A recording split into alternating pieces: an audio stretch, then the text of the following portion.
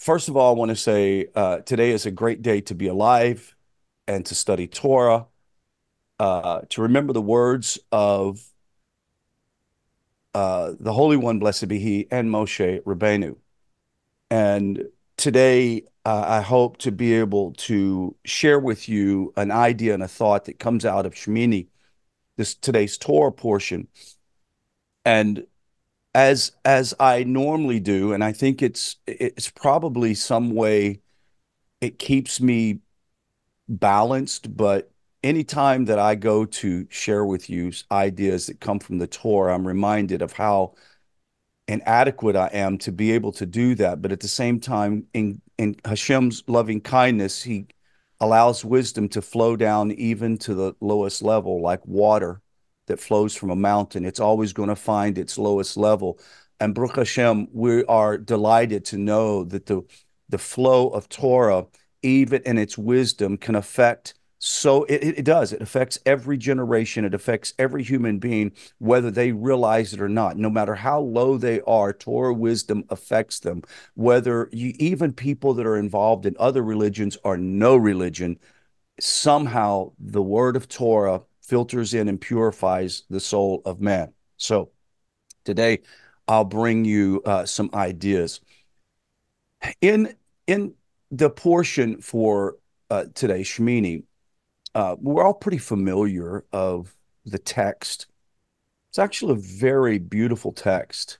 As a matter of fact, lately um, in my meditation, I've I've been working on something that's uh, a, a, fellow Jew uh, sort of reminded me and helped me with this, and that is using your meditation and your prayers. You visualize in your meditation uh, the beauty of what you are meditating. For example, uh, one person said, uh, this person said that he pictures himself standing in the court, outer court of the temple, and he takes time to feel the the cool breeze of the Jewish uh, uh of the Jerusalem and the smells and incense of the offerings and uh, the the noise and the chatter that is going on around, and he begins to visualize a day in which uh, peace will reign in the world. Mashiach will be here, and the beauty of holiness will infuse itself in all of the world, all of creation. I don't know how that's going to happen. I don't know what that's going to look like, but I've decided within myself, and I want to encourage other people to do the same thing and from this encouragement from this brother to say somebody's got to visualize this somebody has got to start meditating on it somebody has got to draw down the the presence of Hashem into the world so that we can have peace again we are living in the one of the most chaotic times of of world history and if you really paid attention to what's going on around of us, around us in which I have to be honest with you, I've not paid much attention to because it's just so it's so it can be so damaging to your soul. Earthquakes, tsunamis, tornadoes across the Midwest, ships crashing into bridges, attack upon the Israeli people, the Jewish people by the Palestinians, and a continual full court press by by evil, wicked people to destroy Israel. Uh, even our own president somehow mustered the words to condemn part of the action of Israel. And if I'm not careful, I know I will become a bit frustrated and enraged by the whole thing. And anger is a real issue. I, deep within inside of me, as much as I, I, I pride myself on being a peacemaker, I have deep within inside of me the I'm a fighter. I'm a soldier. I was a police officer. I don't have a problem getting in a scrap to defend myself or to defend someone else or to save someone else's life. So I've got to guard myself on a daily basis. Maybe some people don't, but I do. And I don't just get angry things that should bother us and should make us a bit angry, it's all right. Anger is not a bad thing. There's such a thing as righteous indignation, correct? If there's righteous indignation, then that means that there are appropriate times in which we express our, our frustration and anger at a situation. I'm just not wise enough to knows, know when those times are as detrimental to your Torah knowledge and wisdom than other times. We can always get a little upset about this or that, but I never want to be responsible, and nor do any of us want to be responsible enough to become so angry that Torah flees from us. God forbid.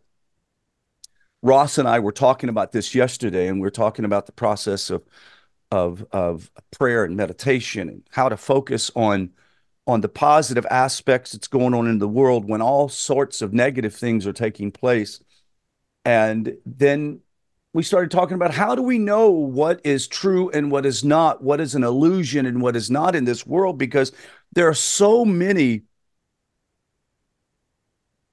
illusions that are either not true or wanting to paint a picture that tells you something else. Our whole history has been wrought with misinformation, whether it is about a particular government or country or whatever. We find out that history, we find out that archaeology changes the whole paradigm when the truth comes out. And it seems that the longer that we exist and the closer that we come to the age of Mashiach, the level and intensity of the chaos and uh, uh, illusion seems to thicken. And those who are committed to their anger and frustration and fear and doubt and unbelief will end up wallowing in this and miss the beauty of the moment. I do believe that we are not only in the most chaotic time, but the most beautiful and incredible time of human history. Why do I say that? because it, it, it's it's when difficulties drive itself into your life that you're able to refine yourself like gold tried in the fire. And we come to this text today, and it says that Moshe, Moshe made uh, a diligent search concerning the goat of the sin offering.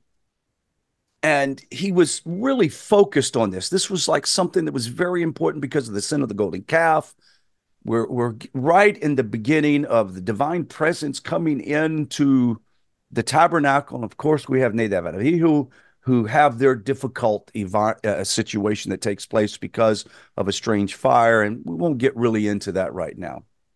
But it said that he, as he searched to find out what happened to the burnt offering, he found out that the the offering was supposed to be part of it consumed, but it was burnt.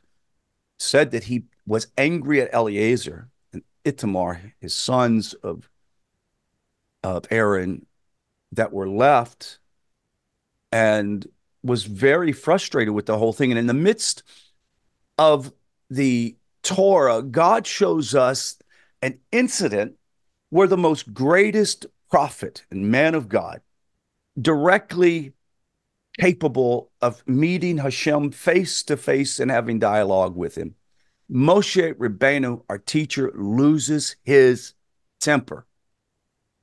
Now, I'm not sure, maybe Rabbi uh, Zvi can clarify this, but it seems that this would be the perfect text to help us to understand how easy it is to lose your Torah. So let's continue. Now, there are other incidences in the Torah where Moses is brought to anger. But only after excessive abuse and irritation from the Israelite people, from Pharaoh, etc. This is not the case here. Besides, it seems um, a bit strange to think that the father of all the prophets, our teacher, Moshe Rabbeinu, gets angry. Like, no, come on. It, it, this anger is different. From this, we must learn a lesson and a very deep and important lesson that this verse sits in the center of the whole Torah, the whole Torah, prior and after, smack in the center. it is something for Moses to forget the law as he was the one who received the Torah directly. Is it possible that he actually forgot this little segment of the Torah that then Aaron, his brother, shares with him? We can see from this that if anger can cause Moses to forget the Torah, to forget a specific law of the Torah, how much do we need to be aware of our anger and guard ourselves from it? If anger could cause Moses, the father of all the prophets, to forget the law, how much could we lose? Now, look, anger may do more harm than other emotions, and we do understand that. One day of anger can destroy a person's whole life. How many people are in prisons right now because of what we call a crime of passion? How many people have got into tremendous problems and destroyed relationships and families because of an, a, a day or a moment of uncontrolled anger?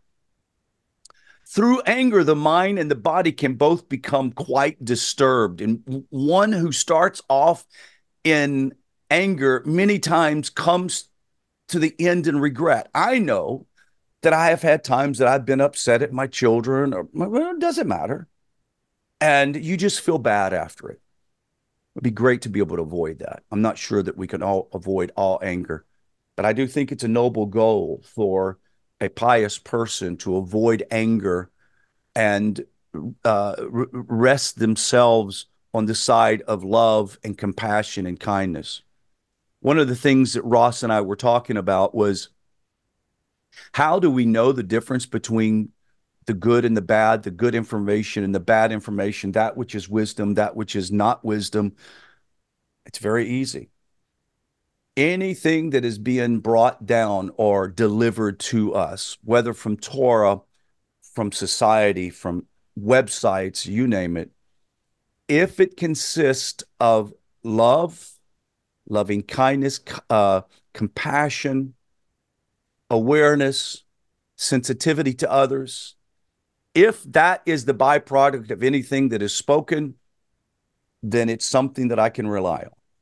However, if something that I am learning or that I'm hearing or information that is being delivered to me, whether by the TV, internet, or a person, if it ends up in chaos and disjointed relationships and anger and frustration, it's something we should reject reject wholly. Could you imagine if men and women in prison could learn the art of controlling their mind and controlling their anger, what that would do to change their life? And there are many people who have learned that while in prison and got out and became very productive citizens of the world. The issue is is such behavior can cause uh, one's connection to spiritual realms to absolutely be diminished. What do I mean? When when one is caught up in your anger and frustration, we've heard it really sort of told to us by the sages of blessed memory that it's the ultimate act of idolatry. Why? Because it shows your lack of trust in the Holy One your lack of ability to know that all things are in the hands of God. That anger and frustration means that I am angry because things are not going my way and not happening the way I want to. And these are very, very damaging things to our, our spiritual life. We have to work at having balance. And it doesn't mean that we are anger free. I'm not sure that that's possible to not become frustrated or angry at something. But I do know that we have to find the balance in in that. Let's talk about for a moment. I have a couple of quotes here. Rabbi Yochanan, the name of Shimon HaTzadik, uh, he's a very righteous, holy man who does not become anger over the acts of the wicked as a serpent and is not really wise at all. He says, let me repeat this again. One who does not become angry over the acts of the wicked is a serpent and is not really wise at all. Wow. Okay. So it's all right to become angry. It's all right to have righteous indignation. I'm going to tell you when October 7th happened. It's interesting. We now all call October 7th like we used to do 9 11, right? That makes me angry. Why? Because I'm 61 years old and I'm not capable of going to Israel and fight like I used to when I was a young man and went to the Gulf War to become a, a warrior. Can't do anything about it. I'm frustrated. I've become angry at the hatred, the unmitigated gall that the nations have against God's holy people. But at the same time, I understand there's a purpose behind it and we need to be all right with it. Rabbi Shneur Zalman teaches us in the Tanya that anger, which breaks forth as rage, as a, is like, as I mentioned earlier before, a reference, worshiping idols. If one really believes that all things happen in the world is because of God's doing, then why in the world would I become angry? Why should I be bothered by these things? And this is one of the foundational essence that if one embodies, you can really begin to handle this and be find a balance. We see from this anger, this lack of belief in God and his providence. Elijah the prophet teaches in his book uh, that we should eat one third, drink one third, and leave one third over for when they get angry, don't overeat. As it is taught in the Zohar, that the fat on the stomach has the aspect that causes us causes it to hide one's correct thought process and intellect this causes one's brain to be ruled primarily by the severity and aspects of kindness. It becomes restricted.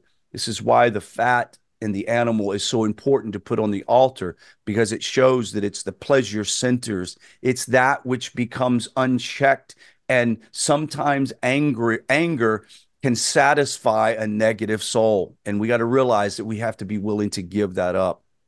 The Milta Rabbi teaches that faith is a light that surrounds the creative inspiration called wisma chochmah, which this or from this we see that anger causes a disruption in the process of thought that leads to creative inspiration. If you want to have creative inspiration, then you've got to evict anger's control in your life. In such a state, it says to put it simply, one can think clearly when you do not have this anger.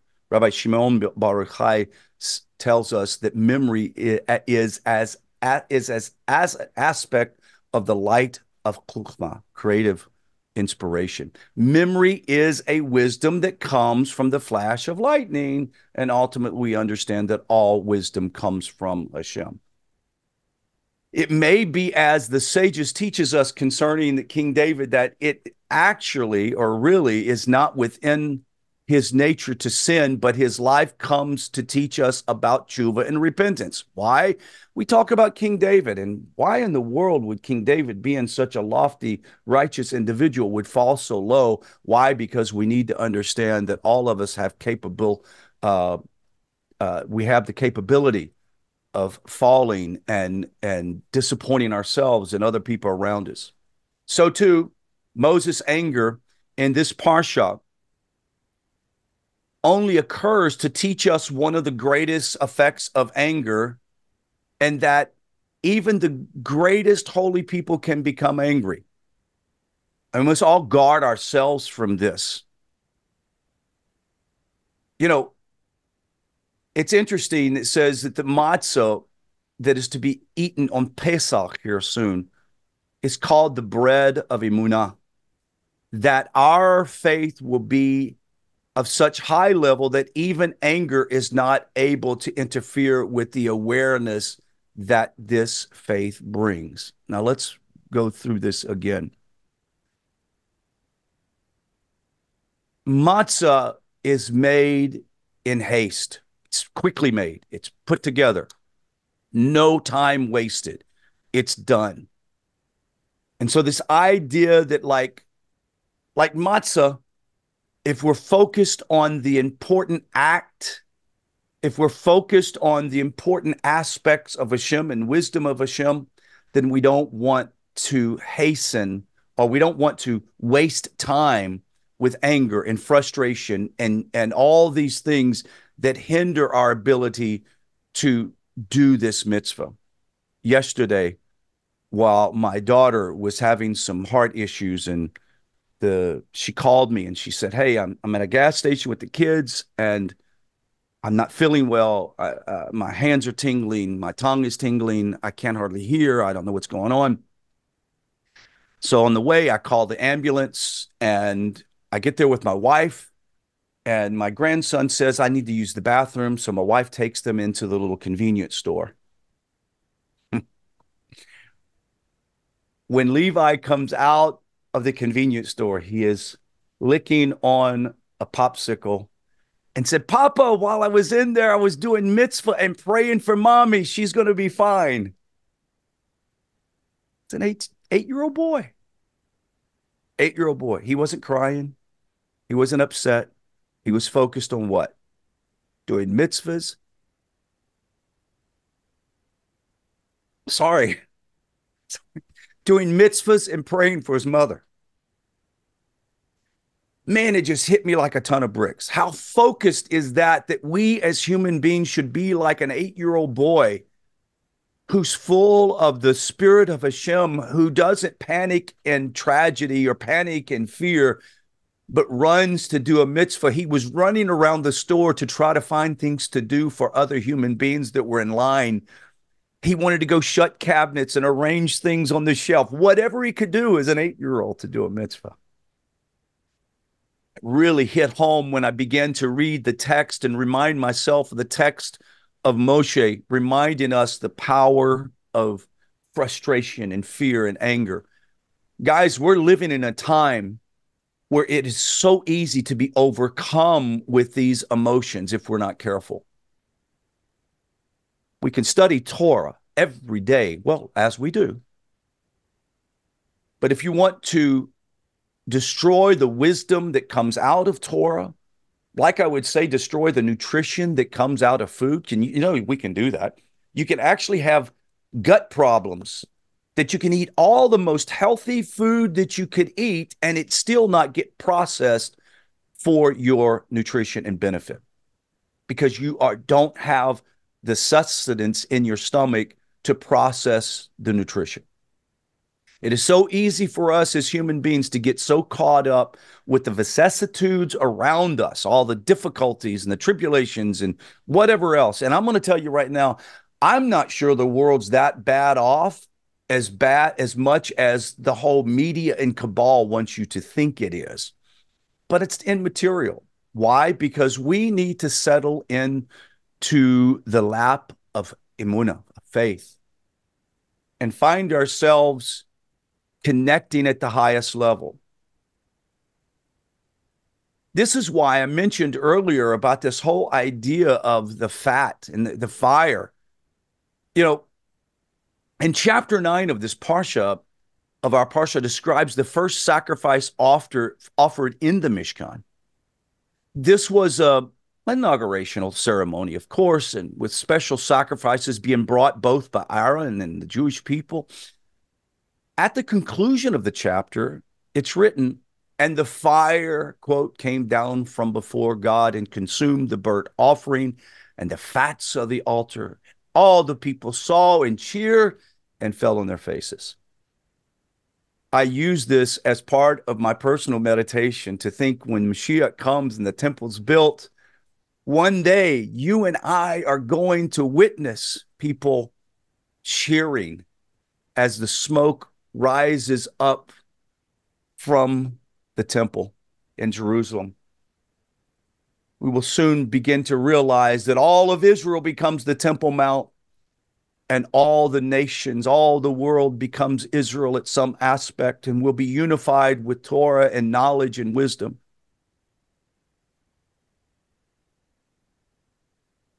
The inauguration of the Mishkan appears at the end of Shef, the Sefer Shemot, and the Parsha Pekudei without any particular ceremony after describing how Moshe constructed the Mishkan on the first day and then continued on for several days, making sure all the, the de- details were followed, attention to detail, concludes with the words, the cloud covered the tent of meeting and the glory of God filled the Mishkan.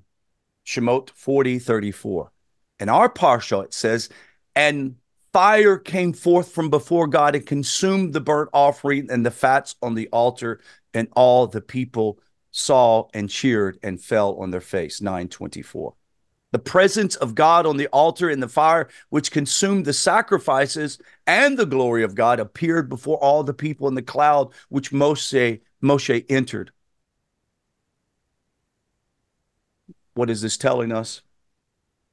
that if we want to see the age of Mashiach and the divine presence to come, of course, we all have the presence of God everywhere. There's no place where God does not exist. We're talking about the Shekinah, as Rabbi Aviner have said many times.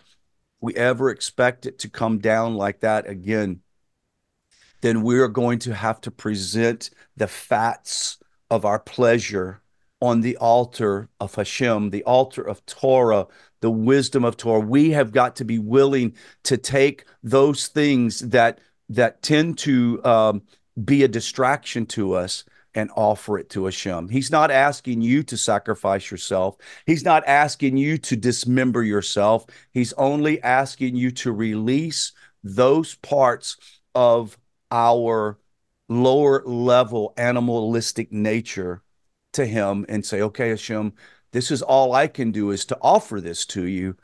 Now I need you to help elevate me to that place. If you want to be elevated, it's about presenting yourself to Hashem. We see in the Torah how Aaron and his four sons had spent several days preparing and practicing. Moshe, on the eighth day, calls Aaron his son and the elders of Israel. Moses explains to each of them that work will need to be done in the Mishkan, every detail on the eighth day. Who would slaughter the sacrificial animal?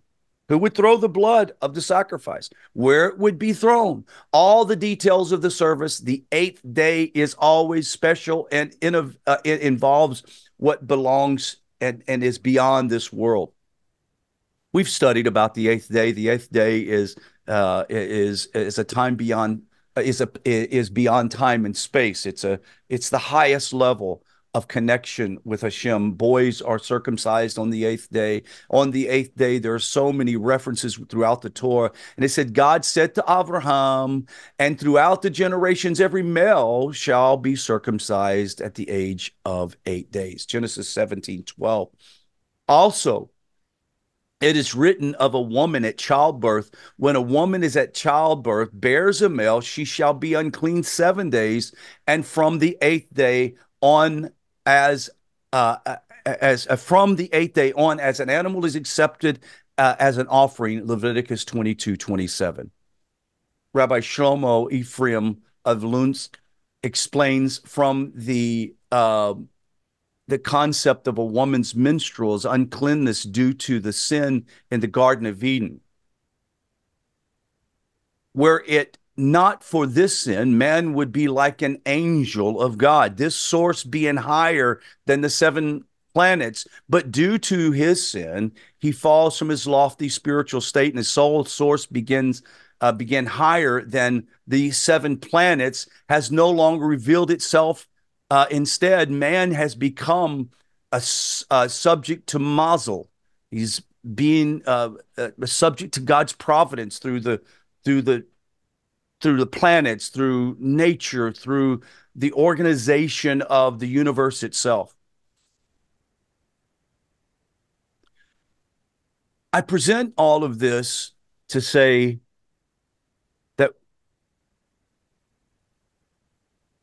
righteous anger is a good thing. But here's the thing we don't want to become serpents of our anger and lose our Torah.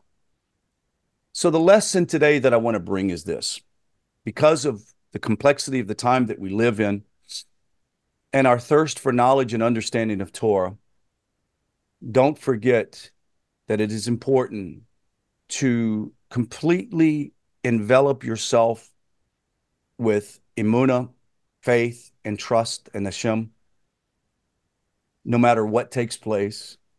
Focus ourselves on doing what is supposed to be done. Why was Moses angry? It was because he thought something had fallen that shouldn't have fallen, something broke that shouldn't have broken. And it's a lesson to us to realize that we can't afford ourselves to be so obsessed with the details of how you think life should run that you destroy how your life should be going because of your frustration and anger, like things aren't working out the way I want them to. That ultimate faith is us trusting Hashem no matter what takes place around us. I want you to be encouraged, be full of the spirit of Hashem to mitigate the negative forces that are around you. Don't allow them to take over your mind and your thought. Divorce yourself from the negative aspects of the past. Divorce yourself from the negative actions that you have taken in the past. Dive in to a holistic, beautiful relationship with God through prayer of mitzvah. It's simple. Don't allow the the negative forces to come in. The negative forces are now greater than ever. Just as Daniel prophesied in the age of Mashiach that knowledge will increase around the world, the knowledge of God will increase. Well, we understand, and I can't remember of the Hebrew phrase, Rabbi Aviner could probably help me, but the idea that if there is such a, a positive force in the world, there's an equal negative force in the world. So if we look around us and see how negative things are, and people are saying, "Hey, the sky is falling," UFOs are going to show up. Aliens are going to be walking in your mall for crying out loud. the, Nephilim's coming back. Whatever is being taught out there, quit. Focus on love for Hashem. Focus on your emunah. Focus on doing what brings down the divine presence in your life. May we all see Mashiach soon. May we all see us as a world beginning to improve ourselves and remove ourselves from the evil that's in the world. That finishes my shiur. We'll go on. Who would like to be the first to comment, throw tomatoes, go to sleep, ask a question? It doesn't matter. Who's first?